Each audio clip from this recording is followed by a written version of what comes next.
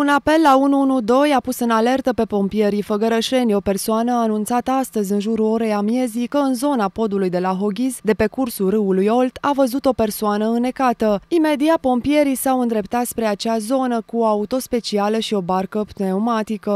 Am fost solicitat să intervenim la Hoghiz, pe cursul râului Olt, pentru a scoate o persoană necată din albia Oltului. Știți uh, în ce condiții a ajuns? uh, Ce... cei- Nu știm, uh, din uh, datele pe care le avem, Oltul este foarte mare, Oltul este foarte mare și curge foarte repede. Acum ne deplasăm cu o auto specială și o barcă pneumatică la Crihalma pentru a coborâ în avalul Oltului către Făgăraș. Știți cine a anunțat? Uh, Un uh, cetățean care a văzut cadavru pe pod, dar el este confirmat și de către pescarii aflați la Hoghiz, pe cursul râului Olt. Oamenii legii fac acum cercetări pentru a stabili identitatea persoanei înecate în Olt, dar și care au fost condițiile în care a ajuns în apele învolburate ale râului.